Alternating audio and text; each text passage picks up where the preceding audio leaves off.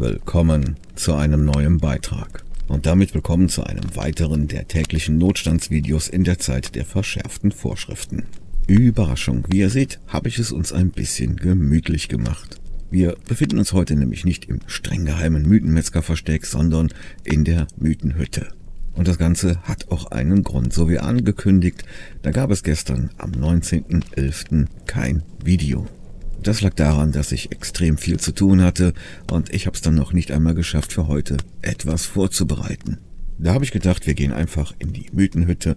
Ich mache ein schönes Feuerchen an und gebe euch dann ein bisschen Wein mit etwas Betäubungsmittel darin, damit hier nicht allzu viel herumgeschimpft wird. Es ist ja nicht so, dass ich komplett hilflos wäre in so einer Situation. Es gibt ja noch so etwas wie die kleineren Meldungen. Die kann man ja dann auch mal besprechen. Also mit anderen Worten, wir quatschen heute etwas rum über Mythen, Mystery und äh, merkwürdige Berichte. Ja, und mit so einem merkwürdigen Bericht, da fangen wir dann heute auch gleich an. Ich nehme mal an, ihr habt Hunger und äh, da habe ich mir gedacht, Mensch, gibt im Moment ein gutes Angebot aus einem Labor.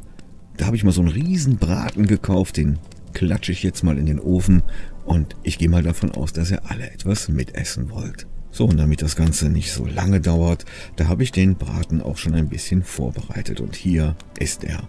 Sieht ja nicht gut aus. Absolute Punktlandung. Sensationell gelungen. Liebe Veganer und Vegetarier, an euch habe ich natürlich auch gedacht.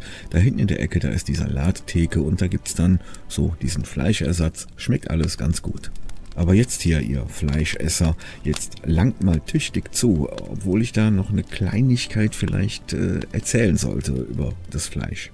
Das sieht zwar knusprig und lecker aus, aber ich fürchte, ich muss euch da sagen, dass das Menschenfleisch ist.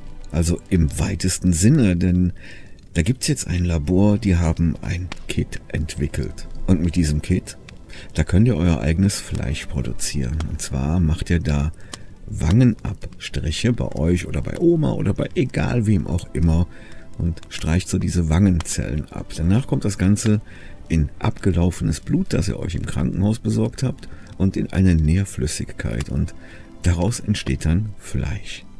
Ja, wie ihr seht, das hier ist die Meldung, das war jetzt hier auf Fox News, aber ihr findet das auch wirklich auf anderen Nachrichtenportalen. Dieses Labor, die haben das tatsächlich entwickelt. Und die sagen, das ist kein Kannibalismus. Das entsteht aus menschlichen Zellen, aus Blut, kann auch Rinderblut, kann aber auch Menschenblut sein. Und dieser Nährflüssigkeit und äh, ja, das kann man dann essen und das wäre kein Kannibalismus. Dann ist ja laut der Entwickler das Ganze erst einmal eine Sache, die man machen könnte, die aber tatsächlich im Moment noch nicht verkauft wird. Es ginge auch ein bisschen darum, aufgrund dieser Meldung vielleicht einmal sich ins Bewusstsein zu rücken, was wir da alles so an Fleisch verdrücken und ob das alles so richtig ist. Es gibt da nur einen kleinen Umstand, der dabei beachtet werden sollte. Es gibt schon einen Namen für dieses Fleisch und der heißt Ouroboros. Und es gibt schon etwas, womit verkaufte Einheiten dann sozusagen erkennbar gemacht werden sollen. Das ist dieses Zeichen. Das soll sich dann auf den Verpackungen oder dieser Zuchteinheiten befinden, aber eben auch auf fertig produziertem Fleisch. Der Marktwert dieser Sache, der wird bis zum Jahr 2030 auf 525 Millionen Dollar geschätzt. Das lässt sich dann wohl die Lebensmittelindustrie nicht so leicht entgehen. Wenn ihr also in ein paar Jahren durch den Supermarkt schlendert und da ein sehr preiswertes Fleischangebot findet, das dann dieses Zeichen auf der Verpackung hat, dann ist das kein Schlangenfleisch. Nein, dann esst ihr Fleisch, das aus den Wangenzellen und abgelaufenem Blut irgendeines Menschen gezüchtet wurde. Ja, und ich habe ja jetzt hier dieses Muster bekommen, damit ich da auch weiß, worüber ich rede bei diesem Bericht. Wem darf ich denn jetzt zuerst was geben? In Irland, da hat es jetzt ein Gerichtsurteil gegeben. Ich kann euch sagen, also da weiß man gar nicht, was man davon halten soll. Auf der einen Seite ist die Begründung des Richters für das Urteil, um es mal mit Mr. Spock zu sagen, faszinierend, aber in Bezug auf den Fall vielleicht nicht unbedingt so. Ihr werdet sicher gleich verstehen, wie ich das meine. Da wurde ein Mann freigesprochen, der zuvor von seiner Ex-Frau verklagt worden war. Die hat jede Menge blauer Flecke und Schnitte und äh, Blutergüsse und sowas gehabt. Und die hat gesagt, das war ihr Mann. Der Mann, der sagte, nein, das war ich nicht. Meine Frau, ist seit Jahren von Dämonen besessen und fügt sich diese Verletzungen selber zu. Und zwar immer dann, wenn die Dämonen Besitz von ihr ergreifen. Da fliegen dann Sachen durch die Wohnung, Möbel bewegen sich, es rappelt und klirrt an allen Ecken und Enden. Vor Gericht trat dann eine Zeugin auf, das war ein Medium. Und diese Frau, also dieses Medium, das war vor langem schon von dem Ehepaar zur Hilfe gerufen worden. Und die sagte, dass sie so etwas wie bei dieser Frau noch nie erlebt hätte. Diese Frau, die wäre während ihrer Anfälle überhaupt nicht mehr ansprechbar gewesen. Sie hätte da gelegen, vollkommen versteift und hätte merkwürdige Geräusche von sich gegeben und es hätten sich Sachen bewegt und all solche Dinge. Und sie selbst sei Zeugin davon geworden, dass einige dieser Dinge, die dort herumflogen, diese Frau getroffen hätte oder dass sie selbst sich diese Kratzer und so weiter zugeführt hätte. Das Licht in der Wohnung hätte angefangen zu flackern und die Frau hätte plötzlich damit begonnen, Latein zu reden, obwohl sie diese Sprache gar nicht beherrsche. Sie hätte alle Anzeichen für eine dämonische Besessenheit gehabt. Ja, was soll ich euch sagen? Der Mann, der wurde freigesprochen. Und die Urteilsbegründung des Richters, die lautete wie folgt. Der Staat hat es bisher versäumt, sich um die Erforschung dieser übernatürlichen Dinge zu kümmern. Daher kann er aufgrund der Zeugenaussagen nicht ausschließen, dass es diese Dinge gibt. Und damit wurde der Mann freigesprochen. Meines Erachtens gäbe es natürlich noch die Möglichkeit, dass die Frau unter etwas in der Richtung wie Epilepsie gelitten hätte, aber das kam da wohl nicht zur Sprache. Ob es nun der Mann war oder nicht, das kann ich hier natürlich auch nicht sagen, aber das Urteil an sich, das finde ich schon bemerkenswert. Aber in diesem Fall ist es vielleicht nicht so gut untergebracht. Und ich stelle mir gerade so vor, was los gewesen wäre, wenn hier jemand so ein Urteil gesprochen hätte. Es ist noch nicht so lange her, da habe ich in einem kanadischen Forum einen mittelschweren Lachanfall bekommen. Das war einfach zu herrlich, was da passiert ist.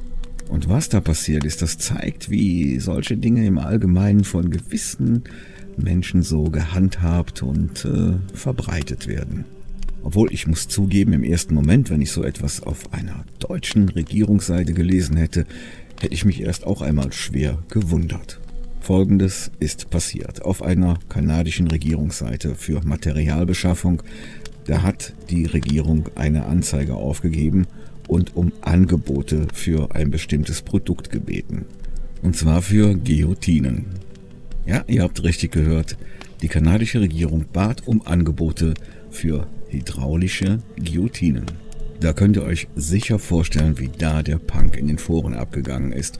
Und natürlich, natürlich waren dann auch diejenigen dabei, die einen kannten, dessen Onkel einen Neffen hat, dem seine Tante bei der Regierung arbeitet und die hat eine ultra, ultra, ultra geheime Information an ihn weitergegeben, dass die kanadische Regierung vorhat, ihre Leute da den Kopf kürzer zu machen. Und das wissen die ganz genau. Und da gibt es auch überhaupt kein Vertun drin. Und überhaupt, der Staat plant, die kanadische Bevölkerung zu dezimieren. Und jeder, der das jetzt nicht glaubt, der ist ein Schlafschaf und lebt in einer Traumwelt, ist ein Systemling, hängt am Tropf vom Staat oder sonst irgendetwas in dieser Richtung. Ihr kennt ja diese Kommentare. Kaum ging diese Diskussion los, da wurde das Ganze dann auch an die entsprechenden Regierungsstellen weitergegeben und die haben dann sofort reagiert und etwas darüber veröffentlicht. Zunächst einfach nur eine Notiz über dieser Website, vielleicht war der Administrator krank, ich weiß es nicht. Da stand dann drin, dass die Regierung natürlich nicht plant, Guillotinen zu kaufen, um die Kanadier da einen Kopf kürzer zu machen. Es hat da wohl eher ein Problem mit der Textverarbeitung gegeben und das ist dann so schnell niemandem aufgefallen. Der ganze Post wurde dann aber geändert und das richtige Produkt wurde dann gesucht und ihr könnt ja sehen, es ging um hydraulische Papierschneider. Wie daraus nun das Wort Guillotine entstanden sein könnte, das weiß man nicht so genau. Man geht von einem Fehler in der Textverarbeitung aus. Die Administratoren, die sagen, dass sie das auf gar keinen Fall waren, weil das die wahrscheinlich dann den Job kosten würde. Scherz oder Fehler in der Textverarbeitung, man weiß es nicht. Der Witz ist aber dann in den Foren, dass dann wieder welche ganz genau wissen, dass das jetzt nur eine Ablenkung vom Staat ist und dass die diese Guillotinen ja doch kaufen und jetzt nur so getan wird, als hätten die Papierschneider gemeint. Und auch das wissen die natürlich aus ultra, ultra geheimer Quelle. Und ganz viele nicken und sagen, ja, das glauben wir auch. Natürlich, wenn man ein Volk dezimieren will, da kauft man sich da so 50 Guillotinen und sagt, bitte alle mal hinten anstellen. So wird das wohl sein. Es gibt ja keine andere Möglichkeit. Für den Fall, dass es mal wieder geht, habt ihr da eigentlich irgendeine Planung für den Urlaub? Solltet ihr mit einer Kreuzfahrt liebäugeln, dann möchte ich euch das jetzt ein bisschen verderben. Es gibt eine neue Studie und diese Studie, die hat sich damit befasst, was denn so mit den Menschen passiert, die auf Kreuzfahrten so alle verschwinden. Im Jahr gehen auf Kreuzfahrten so um die 24 Menschen verloren. Und wer jetzt denkt, dass die alle freiwillig über Bord springen oder versehentlich äh, über Bord fallen, der liegt da ein bisschen falsch. Ein Ermittler, der für derartige Fälle zuständig ist, der hat nämlich jetzt gesagt, 24 Menschen gehen weltweit Jahr für Jahr über Bord. Jeder dritte Fall könnte kriminell motiviert sein. Er beschreibt das hier, wie ihr lesen könnt, als Eldorado für Mordgetriebene. Das liegt zum großen Teil auch daran, dass man sich um die Entsorgung der Opfer dann nicht allzu viele Gedanken machen muss, einmal über die Reling und tschüss. Es gibt zwar Kameras, die den Außenbereich der Schiffe filmen, aber die erfassen eben auch nicht jeden Winkel und diese Herrschaften, die da ihrem Hobby nachgehen, die wissen, wo die toten Winkel auf so einem Schiff sind. Also denkt dran, meine Lieben, wenn ihr eine Kreuzfahrt macht, dann immer schön dastehen, wo die Kameras sind.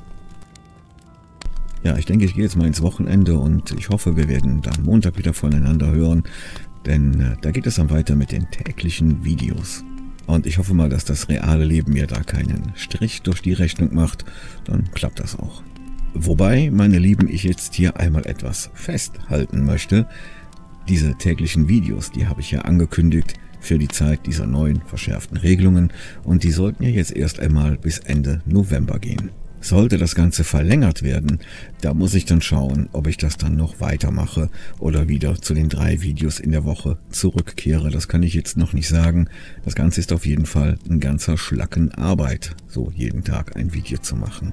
Aber schauen wir mal, wie es laufen wird. Ich wünsche euch jetzt auf jeden Fall erstmal ein schönes Wochenende. Benehmt euch, tut nichts, was ich nicht auch tun würde und das ist schon eine ganze Menge. Und wenn ihr nicht wisst, was ihr tun sollt, dann besucht doch mal unsere Website mysterybande.de. Da gibt es immer wieder Videos, die ihr hier nicht sehen könnt oder auch aus verschiedenen Gründen schon lange Zeit nicht mehr sehen konntet. Und wenn ihr nicht sicher seid, dass ihr alle täglichen Videos gesehen habt, dann schaut mal in die Videobeschreibung, da habe ich die alle aufgelistet. Und wenn ihr dieses Video hier als Information okay fandet, dann lasst mir mal einen Daumen nach oben da. Ihr wisst, dann freue ich mich. Und ansonsten hoffe ich, wir hören und sehen uns bei meinem nächsten Video wieder. Und bis dahin, alles Gute für euch.